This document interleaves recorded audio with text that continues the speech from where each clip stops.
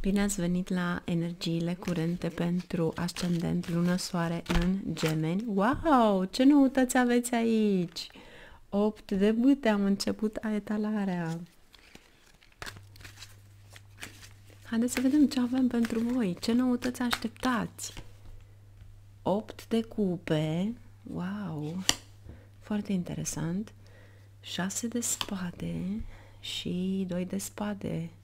Este ca și cum vine un mesaj la care nu știți dacă veți merge pe acea energie sau nu. Este un fel de um, ceva necunoscut. Și vă încearcă din nou cavalerul de săbii, soarele și trei de monede. Deci, gemenilor, va trebui să aveți încredere în acest necunoscut, uh, pentru că îți va aduce ceva neobișnuit, este ceva neobișnuit, dar este tocmai perfect pentru tine. Pentru că ai soarele. Și ți aduce succes. Ce ți-am spus e tocmai perfect pentru tine și șase de monede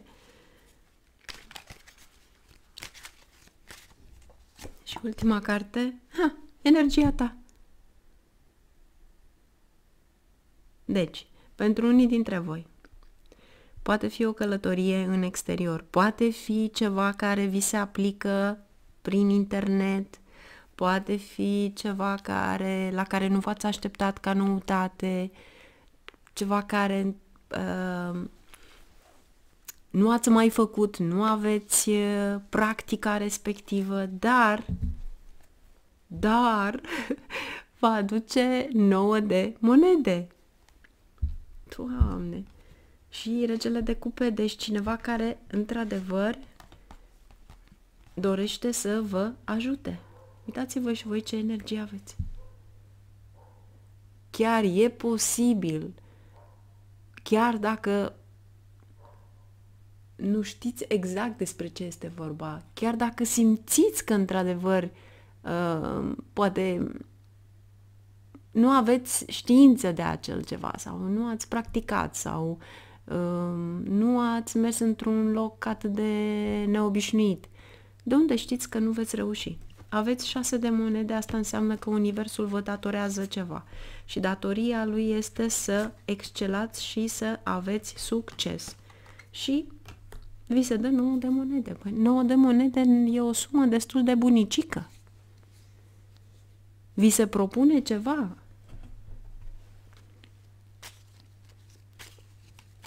Dar optul acela de cupe este un fel de oare sunt sigur că voi reuși? Oare cu doiul acesta de spade?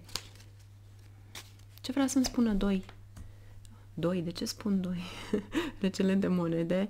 Da, este undeva unde voi v-ați stabilit, să zicem, și aveți impresia că uh, nu e mai sigur aici să rămân aici, dar ceea ce vi se propune este extraordinar de frumos. 8 de bute și cavalerul și este foarte repede și este abundență. E împărăteasa. Nu dați cu piciorul la această oportunitate. Împăratul, împărăteasa și împăratul.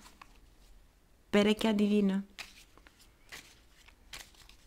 Cei care sunteți singuri o să vă întâlniți perechea divină acolo. Ia uitați-vă, încă o dată, doiul ăsta de spade, sunteți nesiguri. Opt de monede. De ce? Pentru că eu nu am studii pentru așa ceva. Nu-i nimic, faceți o specializare. Învățați din mers, cum s-ar zice. Dar nu pierdeți oportunitatea respectivă. Patru de bâte și soarele. Încă, parcă sunteți mai rău, mai răi ca o balanță. Încercați să țineți pasul, dar în același timp vă gândiți la ce este mai rău și nu la ce este mai bun. Eremitul. Fă un research, mai caută, caută, caută și vezi într-adevăr care sunt și ce îți poate oferi pentru că îți va oferi ceva extraordinar de frumos. Și este un nou început. Este magia pe care ți-o oferă Universul. Da? crede și va veni. Haideți să vedem ce avem pentru voi de la zâne. Care este sfatul lor? Ce trebuie să știți? Uneori, Universul ne aduce ceva neașteptat. Și acel neașteptat de obicei este un miracol frumos, mai ales atunci când gândești pozitiv și atragi pozitiv. Wow! Ce avem aici? The Lady of the Harvest. Cu numărul 18.